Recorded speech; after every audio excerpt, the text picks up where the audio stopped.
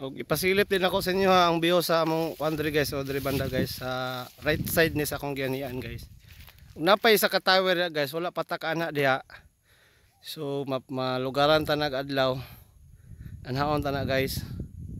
Lagon po ta na guys pero medyo murag ni dagom naman gud guys.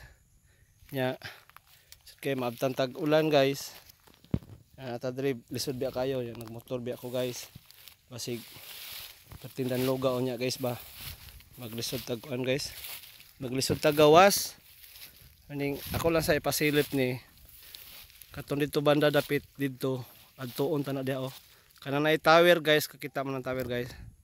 Kanang tower guys, anhaon ta na dia guys. Kay para malaag po nato ng lugar guys. Kay medyo murag ni dagom naman gud guys, wala na koy time guys ba. Wala na koy time mga mga anak pa da guys. So, na nako ang ang sunod na tong adtuan guys ha. Is mo na dia guys oh. Dia guys dito aga guys. Bagnot kay diri guys.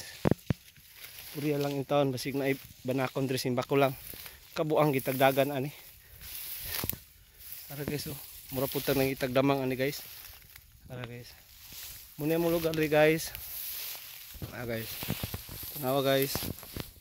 Nakita ninyo ang Kanada banda guys is uh, perbala na na siya guys. Kanang likod. Uh, likod na is upper bala nya diri makilala na na diri likod ani makilala kidapawan. Pa ano ta dito is Mount Apo di gid makita si Mount Apo guys. Kay kuan mo good? Ni oh ni gambo ah, ni gabon si Mount Apo guys. Gabon siya guys so mubanda ta dito padulong ta sa ta sa bansalan oh dito bansalan. Ano yung mga view diri guys? Silip lang ako sa inyo guys ha tara guys. Undot kay guys no?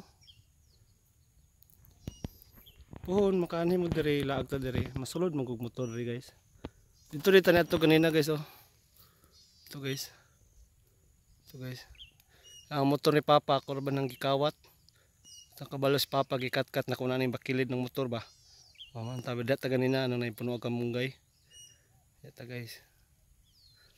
So next time ato ta dito. So shout out uh, Bibi Mika Ruiz Love love uh, Bisdak si Bayong Bayong TV o Bonjoy Vlog. Thank you guys